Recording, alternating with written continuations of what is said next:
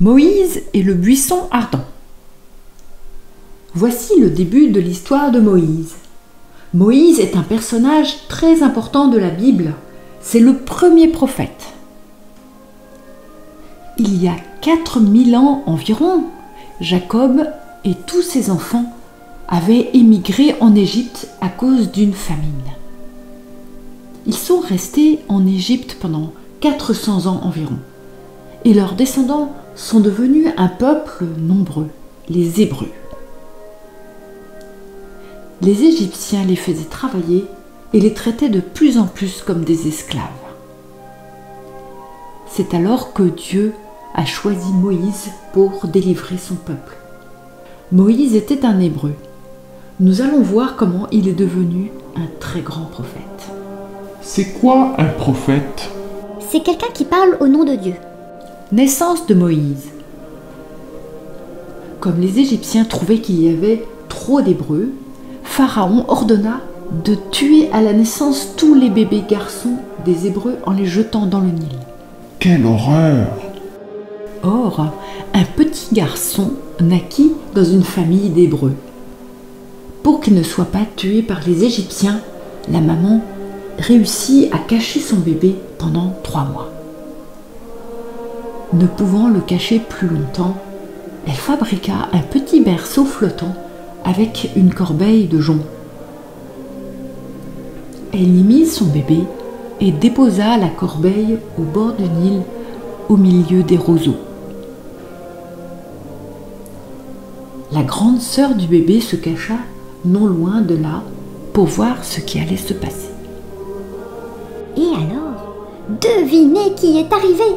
C'est alors que la fille de Pharaon, en personne, arriva à cet endroit précis pour se baigner. Et bien sûr, elle craqua tout de suite. Oh, c'est un petit hébreu. Il est trop mignon. Je vais l'adopter. Tu t'appelleras Moïse.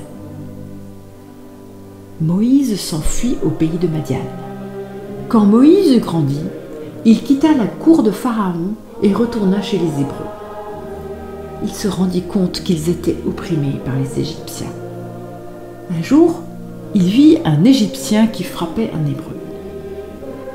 Alors, quand l'Égyptien se retrouva seul avec lui, il le frappa à mort, puis il l'enterra discrètement. Ni vu ni connu. Le lendemain, il apprit que des gens l'avaient vu, et Pharaon en fut informé. Moïse eut peur de se faire tuer par les Égyptiens. Alors, il s'enfuit très loin au pays de Madian. C'est de l'autre côté de la mer Rouge par rapport à l'Égypte.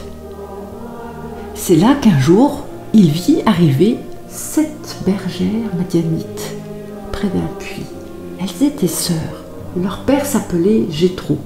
Il était prêtre de Madian. L'une d'elles s'appelait Séphora. À ce moment, des bergers nomades arrivèrent. Ils voulaient chasser les bergères. Mais Moïse prit la défense des bergères et repoussa les indésirables. Puis il donna à boire aux moutons et aux chèvres des bergères.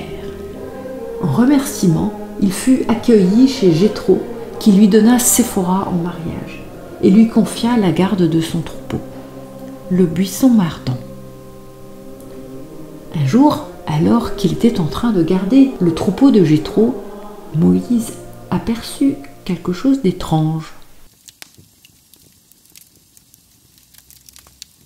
Moïse se dit alors Je veux faire un détour pour voir cette chose extraordinaire. Pourquoi le buisson ne se consume-t-il pas? Un buisson qui brûle sans brûler C'est ça qu'on appelle le buisson ardent. Le Seigneur vit qu'il avait fait un détour pour voir, et Dieu l'appela du milieu des buissons. Moïse, Moïse, Il dit Me voici. Dieu dit alors n'approche pas d'ici, retire les sandales de tes pieds, car le lieu où tu te tiens est une terre sainte. Dieu déclara Je suis le Dieu de ton père, le Dieu d'Abraham, le Dieu d'Isaac, le Dieu de Jacob. Moïse se voila le visage, car il craignait de porter son regard sur Dieu.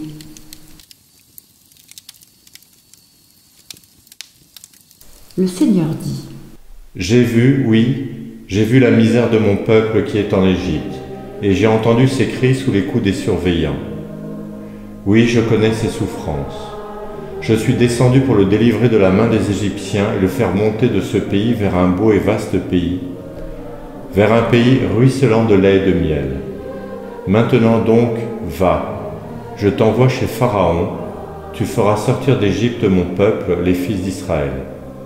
Je suis avec toi. D'accord. J'irai donc trouver mon peuple de ta part. Mais ils vont me demander ton nom. Que dois-je leur répondre? Dieu dit à Moïse, Je suis qui je suis, tu parleras ainsi aux fils d'Israël. Celui qui m'a envoyé vers vous, c'est Je suis, c'est le Seigneur, le Dieu de vos pères, le Dieu d'Abraham, le Dieu d'Isaac, le Dieu de Jacob. C'est là mon nom pour toujours, c'est par lui que vous ferez mémoire de moi d'âge en âge. Je suis. C'est un drôle de nom. En hébreu ancien, cela s'écrit YHWH. YHWH, c'est le nom mystérieux de Dieu. C'est de là que vient le mot Yahvé,